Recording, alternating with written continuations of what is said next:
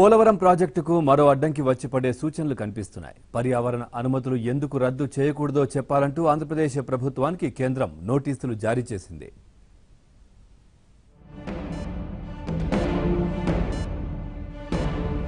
పోలవరం ప్రాజెక్టుకు కొత్త కొత్త సమస్యలు చుట్టుముట్టే అవకాశాలు కనిపిస్తున్నాయి. కేంద్ర ప్రభుత్వం అనూహ్యంగా ప్రాజెక్టు పర్యావరణ అనుమతులు ఎందుకు రద్దు చేయకూడదో చెప్పాలంటూ షోకాజ్ నోటీస్ జారీ చేసింది. పోలవరం ప్రాజెక్టు సాయం అందించాలని ప్రధానికి కేంద్ర మంత్రులకు సీఎం జగన్మోహన్ రెడ్డి వినతి పత్రాలు అందిస్తున్న సమయంలోనే ఈ షోకాజ్ నోటీస్ జారీ కావడం కలకలం రేపుతోంది.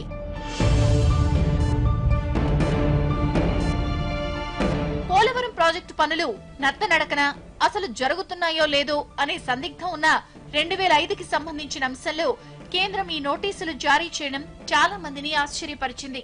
రెండు వేల ఐదులో పోలవరం అనుబంధ ప్రాజెక్టులపై కేంద్ర పర్యావరణ శాఖకు చెందిన చెన్నై అధికారులు తనిఖీలు నిర్వహించారు.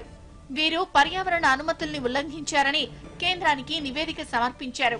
ఈ నివేదిక ఆధారంగా కేంద్రం పోలవరం ప్రాజెక్ట్ పర్యావరణ అనుమతుల్ని ఎందుకు రద్దు చేయకూడదో చెప్పాలని నోటీసులు జారీ చేసింది.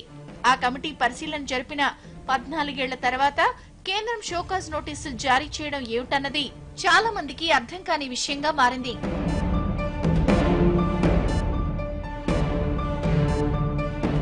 నిజానికి రెండు వేల పదిహేనులో పోలవరం పర్యావరణ ఉల్లంఘనలపై జాతీయ హరిత ట్రిబ్యునల్లో పిటిషన్ దాఖలైంది. అప్పట్లో విచారణ జరిపిన ఎన్జీటీ పోలవరం పనులు నిలిపివేయాలని స్టాప్ ఆర్డర్ ఉత్తర్వులిచ్చింది. దీనిపై కేంద్ర పర్యావరణ శాఖ ఏడాది పాటు స్టే ఇచ్చింది. ఆ తర్వాత ప్రతిసారి ఏడాది పాటు ఈ స్టే ఆర్డర్ను కొనసాగిస్తూ వస్తోంది. ఇటీవల ఈ స్టే ఆర్డర్ గడువు ముగియడంతో ఈసారి రెండేళ్ళ పాటు పొడిగింపించారు. ఉపరాష్ట్రపతి వెంకయ్యనాయుడు ప్రత్యేకంగా ఈ విషయంలో జోక్యం చేసుకున్నారు.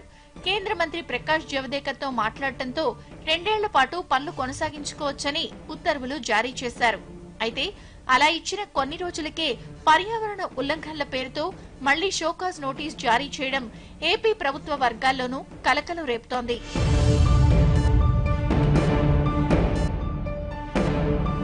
నిజానికి విభజన చట్టంలో పోలవరానికి జాతీయ హోదాతో పాటు అన్ని అనుమతులు ఇచ్చేసినట్లేనన్న క్లాజ్ను చేర్చారు.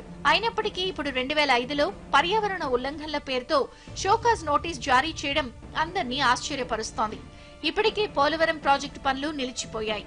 కాంట్రాక్ట్ సంస్థలకు టెర్మినేషన్ నోటీసులను ఏపీ సర్కార్ జారీ చేసింది. పోలవరం మిగిలిన పనులకు రీటెండరింగ్కు వెళ్ళేందుకు ఏపీ సీఎం రెడీ అవుతున్నారు.